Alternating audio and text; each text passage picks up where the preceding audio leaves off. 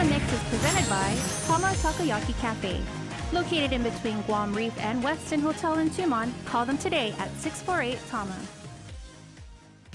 Welcome to another episode of In the Mix. I'm Jonagan Charfris. Thanks so much for tuning in. We have a great show lined up for you this evening. Coming up, we get a recap of the Stoli bartending competition, which took place on Wednesday night.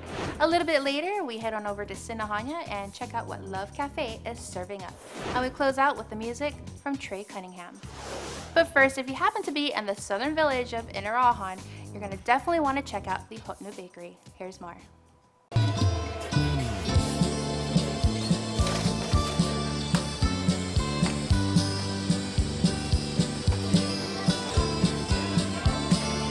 I am Anthony Mantanona and I am the lead baker here uh, at the historic Kanilahan um, Museum and also the Hotnu Bakery. What is a hotnu?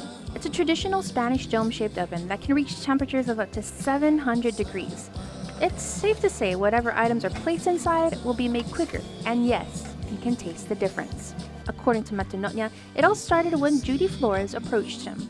She knew that I knew how to bake and uh, uh, over at Gef Pa'go, she hired me as a crafter, and then what led on to the revitalization of Inaran, the village of Inaran, uh, to restore George Flores uh, Museum uh, with with CAHA and as well as Guam Preservation Trust. Uh, we went on ahead and got a grant, or she got a grant, uh, to build a hotnu bakery. Flores needed someone to bake and offered Mantanona to to participate. What led to an apprenticeship program became actually a, a business, and with all the efforts from you know from Auntie Judy, all the all the uh, work she's done. Uh, we've been in operation now for two years with the bakery. So why Inarajan? Well, aside from the capital of Hagåtña and United, Inarajan is one of the oldest villages on island, and with that comes so much history and rich culture. With a lot of efforts from the community, and again, like I said, with having the Hotnu Bakery here, it's bringing back history. Uh, some of the kids that are that you see around here, they've earned their community hours uh, through uh, their service learning hours just by coming down here and volunteering their time. And why not let them own own this because it's their village, as well as it being their own uh, culture. And um, it being an ideal place, uh, it's, it's, I mean, it's wonderful to have, just have people to come down here and just see the South, see uh, history. It warms his heart to know that people make the trek down south just for his baked goods. Sometimes they come down here and we, we run out of bread, we run out of uh, our, our, our baked, baked goods that I feel kind of um, sad about that. But then again, in the lighter side, someone had told me that if you're running out, then that's something good. Uh, I guess we just have to prepare ourselves more every day or every time we uh, our operation uh, we open up for operation.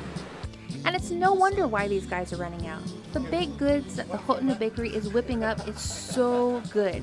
Just last week alone, the bakery went through 150 pounds of flour, and that's just for three days. We try to keep it much uh, more traditional, uh, like the pantuba. It's just that it's so scarce now with the pantuba, with the with the things going on with the you know the coconut tree, the rhino beetles.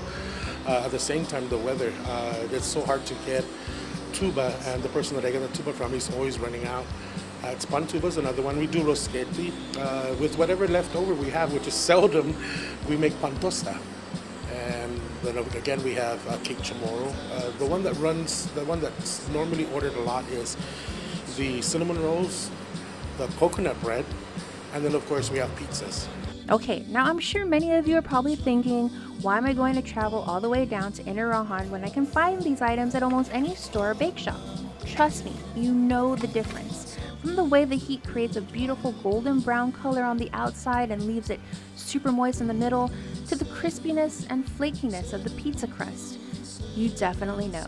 My mom is a baker, and uh, she has a special recipe that she makes cinnamon rolls uh, every Sunday she would, uh, you know, I'll wake up to the smell of cinnamon rolls, but I don't have that recipe. His sister does, and let's just say she's keeping it to herself. But that's okay because Tony's auntie handed down a recipe that he ended up tweaking just a bit. And as if sampling some of the yummy coconut bread and cinnamon rolls wasn't enough, Mantanona shared some fantastic news with us. I got awarded to open up at Chamorro Village uh, for Hotnu 2, and it's uh, Fest for FestPac and beyond, especially FestPac coming next year. Uh, this would be actually an ideal ideal project because it's history. It's also you know our tradition. Um, yes, we were occupied by the Spanish for 300 years. We can't deny that. So that's still part of our history. So it's it's a good thing, and I and I thank the CAHA board, uh, the selecting committee. Uh, I thank them very much for awarding me this. And uh, Hotnu 2 is on its way. So if you find yourself in the southern village of Inarajan or you're up for a nice island stroll, make your way over to the Hotnu Bakery. I guarantee it's worth every mile on that speedometer of yours. Hours of operation are Thursdays from 4 p.m. to 8 p.m. and Saturday and Sunday from 9 a.m. to 2 p.m. Mantanona highly recommends that you call the bakery at 989 5340 to make sure they haven't sold out.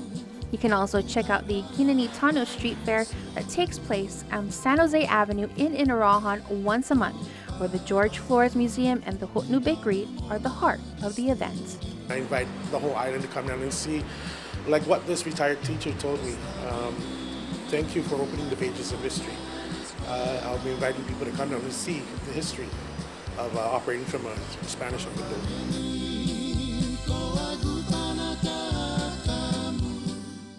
A big thank you to Tony and the entire staff. Make sure to check them out and tell them that In the Mix sent you.